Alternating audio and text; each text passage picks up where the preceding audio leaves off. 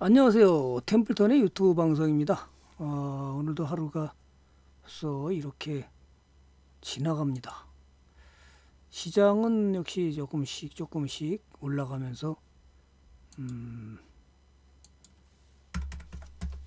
지수가 오늘도 약간 반등하면서 60일을 처음으로 돌파를 나갔는데요. 아직은 좀 약하죠. 그렇지만 자꾸 올라가서 여러분의 계좌가 달라지고 있습니다.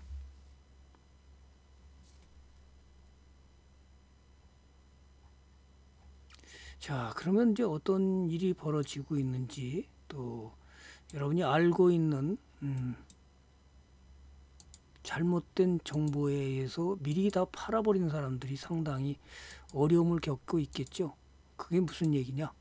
자, 오늘도 역시 시장은 이렇게 어, 하면서 좀 이제 전기차가 끝났다는 색으로 이제 많이 들으신 것 같아요. 전기차는 이제 끝났으니까 다 팔아야 된다. 글쎄 그럴까요? 음, 저는 뭐 2017년부터 어, 전기차는 영원한 테마다 그렇게 간 것이 지금 에코프로비움도 이렇게 많이 수익을 냈던 거고요. 또 여기서 자르질 않고 다시 예, 다시 매수해서 가는 자 이제 다시 또 오는데요. 에코프로비움 그동안에 어, 화재부터 시작해서 여, 여러 가지 어려움을 겪었죠. 그런데 에코프로비움 오늘 강하게 올라왔고요. 에코프로 역시 생산량을 늘리면서 이건 지주사잖아요. 음, 그러면서 강하게 올라오고 있는 모습을 보이고요. 특히 에코프로비움은 그동안에 내부자 거래부터 시작해서 화재와 내부자 거래에서 급락을 했었는데요. 그죠? 그런데도 이걸 참고 이겨내면서 다시 지금 이만큼 올라왔습니다. 지금 얼마 정도 올라왔나요? 네, 바닥에서 지금 벌써 26%가 올랐죠. 뭐 한 30% 올라온 것 같아요. 그죠? 예, 지금 정확하게는 30% 정도 올라왔습니다. 자, 바닥에서. 자, 그러면서 이제 추세를 전환하고 나가는데요. 이제 잘, 잘 들고 가야 되겠죠. 이것이 예, 주식인데 뭐 배터리 2차 전지 왜 그러냐면 기업의 펀더멘털이라는 업, 펀더멘털인 업황이 지금 살아 있다는 거죠.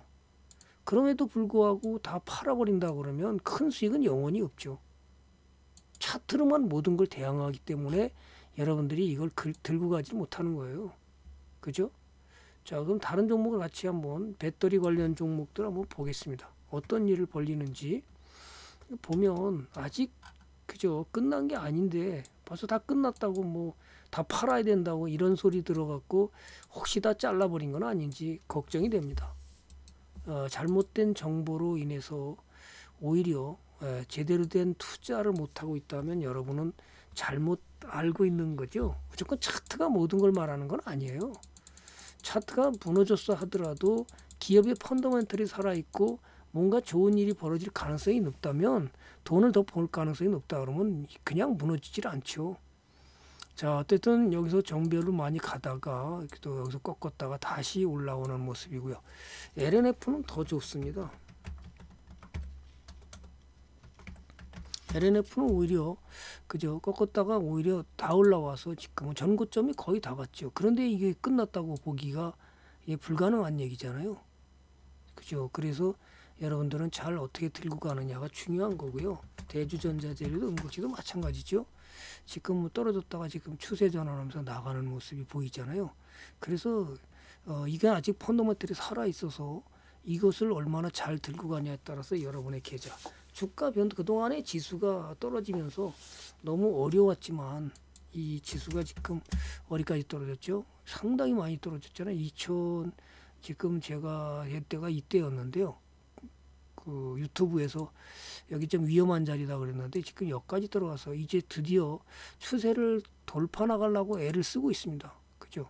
돌파 나가려고 애를 쓰고 있는데 아직은 뭐 추세 전환을 했다고 보기는 어렵지만 그죠? 이렇다면 내부 추세선, 외부 추세선을 본다 그러면 아직까지는 추세선을 돌파하지 못했지만 어쨌든 어 부정적이보다는 올라갈 가능성이 점점 커졌다. 이렇게 보시고요. 주식을 무조건 포기하고 뭐 아이 뭐 자꾸만 어떤 사람들은 뭐 안 좋다 뭐 했다 다 전부 다 현금 확보해야 된다 단타를 해야 된다 뭐 그런 얘기보다는요 기업이 펀더멘털이 살아있고 시수가 떨어져도 한번 이걸 보세요. 종합지수는 지금 8월 달부터 계속해서 내려왔습니다. 그죠?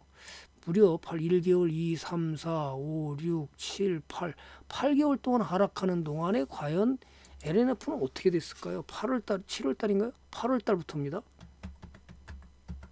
LNF는 8월 달부터 작년에 8월 달부터 어떻게 됐나요? 올라갔잖아요.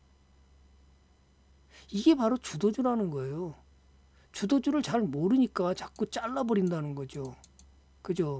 그런데 주도주가 금방 끝나서 더 이상 안 갈 거다? 그리고 배터리는 이제 끝났다고? 다 팔아야 된다고요?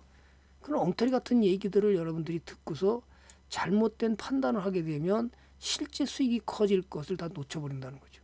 지금 여기가 올라가 있잖아요. 그럼 이게 수익이 지금 얼마입니까? 지수는 거꾸로 떨어지기만 했는데 지금 얘가는 뭐예요? 수익이 지금 얼마예요? 114%입니다.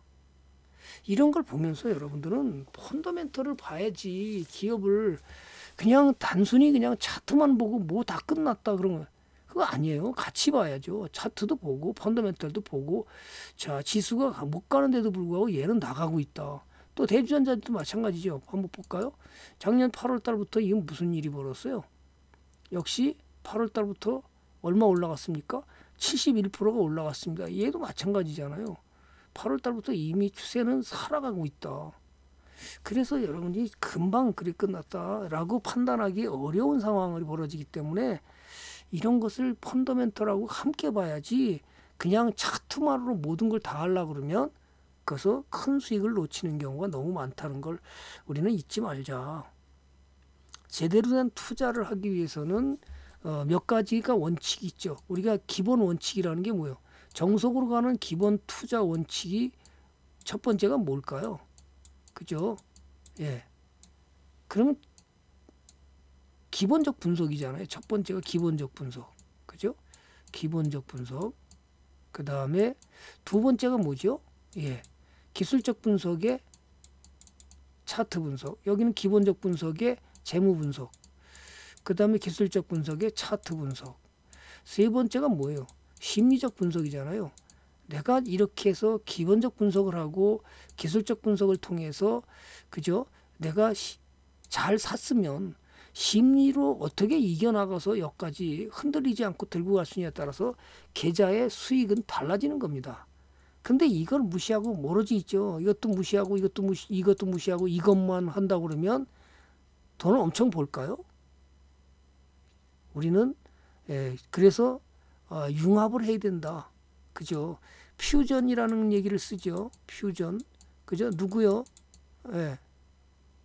퓨전이라는 말을 쓰죠. 근데 이게 바로 윌리엄 오닐의 기본적 분석, 캔슬림과 동시에 기술적 분석으로 그 다음에 우리가 어떻게 들고 가서 텐백을 먹을 수 있느냐, 또 아니면 얼마나 큰 수익을 낼 수 있느냐, 이 기본입니다. 이게. 투자의 정석으로 가는 기본인데 기술적 분석만으로 하게 되면 이미 전, 전기차는 다 팔아야 됩니다. 그죠? 여러 번 다 팔아야 되죠. 정비열에서 가서 정비열에서 가서 역별 나왔으니까 팔고요. 정비열에 가서 역별 나왔으니까 팔아야 되죠. 제가 얘기하는 정비열에 사서 역별 팔고 정비열에 사서 역별을 팔고 이렇게 해야 되겠죠. 자, 어쨌든 그런데 이걸 끝, 끝내 보이서 2017년부터 2월 달부터 추천해서 이렇게 들고 온 사람은 지금 여기에 2,500%가, 2,800%가 갔었죠. 지금 2,500 잠깐 조정받고 다시 나가고 있어서, 예, 이런 것들이 주식 투자예요. 좋은 주식을 어떻게 투자해서 어떻게 큰 수익을 누려서 여러분이 그저 노후를 보장하는 행복한 투자를 하고 그저 경제적 자유를 누릴 수 있느냐 이것이지 모든 걸 차트로 당해서 무슨 그저 바닥에서 차트를 추천하면 다 가치준가요? 그것을 마치 신가치라고 얘기를 하고요. 점들이 그죠? 어, 신가치 투자는 가치라는 게 뭐예요? 기본적 분석에서 수익 가치 그죠? 그 다음에 자산 가치, 성장 가치 이 세 가지를 말하는 것이 기본 원칙인 거예요. 기본을 모르고서 그저 차트로만 무슨 가치 투자를 한다 그러면 그건 엉터리라는 얘기죠. 잘못 알고 있는 잘못 공부를 하고 있다라는 거죠. 그래서 이거를 기본적인 거를 우리는 알아야 돼요. 그죠? 수익 가치, 어, 퍼가 어떻게 되느냐. 그죠? 기업의 가치, 수익이 어, 시, 주가에 비해서 저평가냐 아니냐. 자산에 비해서 자산 가치가 커지면 기업은 그죠? 자산 가치에 비해서 주가가 비싸냐 싸냐. 그래서 PBR이 되는 거고요. 그 다음에 자기 자본을 가서 성장을 얼마나 잘 하고 있는 기업이냐 아니냐를 보는 것이 RO이잖아요. 이 세 가지가 뭐예요? 기본인 겁니다. 기본. 투자의 기본에서 이 재무 분석에 가는 기본입니다. 이걸 무시하고 뭐죠? 차트가 부실한 종목을 갖다 차트에서 바닥이라고 그것을 신가치 투자다 또는 가치 투자다 그렇게 표현할 수 있는 방법은 없어요.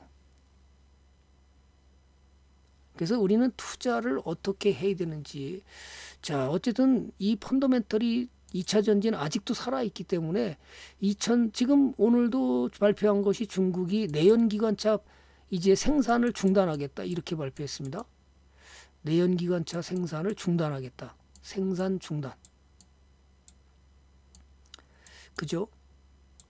생산 중단을 가서. 그러니까 우리나라도 역시 2030년에 가면 생산 중단합니다.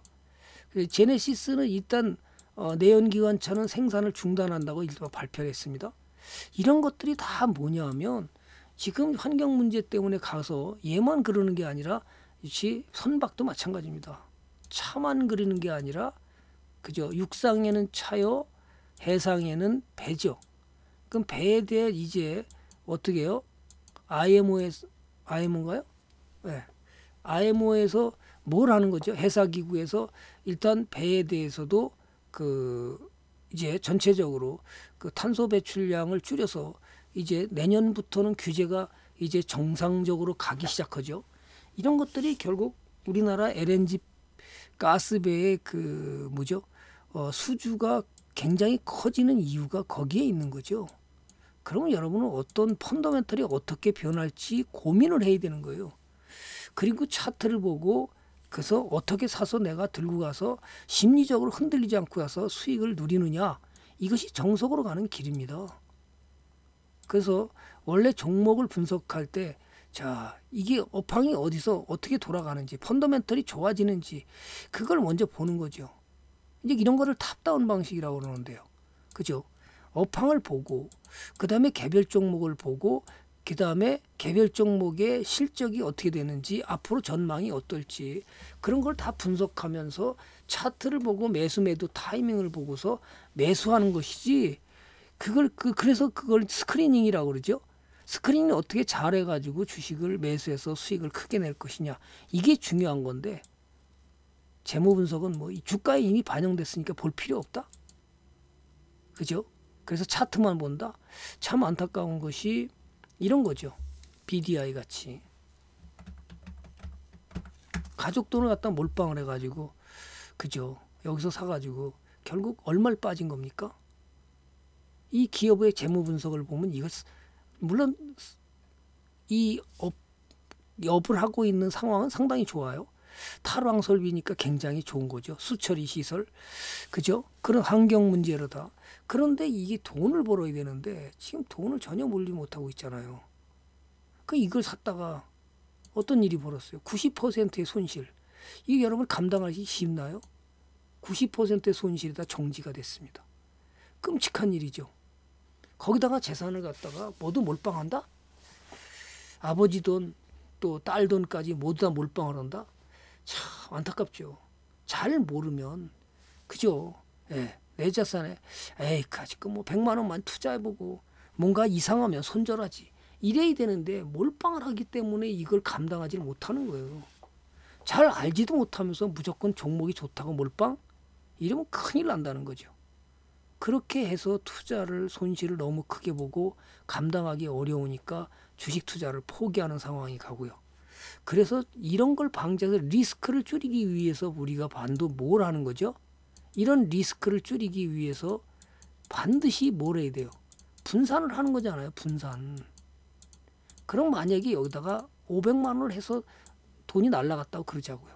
그럼 다음 좋은 종목 아까 어, 에코프로비엠을 500만 원 샀다면 여기서 손실을 갖다가 에코프로비엠에서 아까 100 얼마요?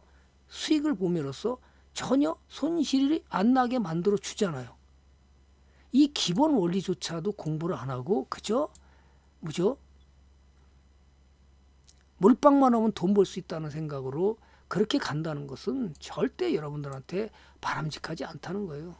이 하나하나를 배웠을 때 투자가 좋은 일이 벌어지는 거고 수익이 커지는 건데 투자자들은 그렇게 하지 않는다는 거죠. 뭔가 욕심이 나서 빨리 가서 들어가서 저거 하면 돈을 더 많이 벌 거로 생각하지만 천만의 말씀이라는 거죠. 기본적인 원리를 알고 주식 투자라면 잘못될 가능성이 별로 없어요. 그래서 어, 개인 투자자들이 반드시 해야 될 것은 뭐냐면 어, 그 재무 분석에서 기본을 갖춰야 되는 거예요. 기본. 내가 이 재무 분석에서 최소한 어떤 종목을 내가 왜 사야 되는지 이건 살 종목인지 아닌지 전도 분간할 수 있는 이 기본 지식을 반드시 공부를 해야 된다. 그죠? 두 번째죠. 그러면 이제 차트 공부를 해야 되겠죠. 차트 공부를 해서 이것을 매수할 자리인지 아닌지 그걸 잘 모릅니다. 개인 대부분의 투자자들은 급등 나가면 쫓아가서 매수해서 내일도 날아갈 것이라 생각해서 이걸 샀다가 떨어지고 나면 팔고 손절하고 또 또 쫓아가면 갈라 그러면 또 쫓아가서 사서 또 떨어지면 손절하고 이렇게 하게 되면 돈을 너무 많이 잃어버린다는 거예요. 자 그렇게 해서 우리가 배워야 되는 것이 바로 행동 경제학에서 말하는 심리적 심리를 이겨내야 되는 겁니다. 심리. 심리를 이겨내야 돼요. 그래야 돈이 커지는 겁니다. 고통이 없이 심리가 없이 그 고통을 참아냈을 때 수익이 커지는 건데 우리는 옆으로 행보하거나 조정하면 다 심리적으로 흔들려서 다 팔게 돼 있습니다.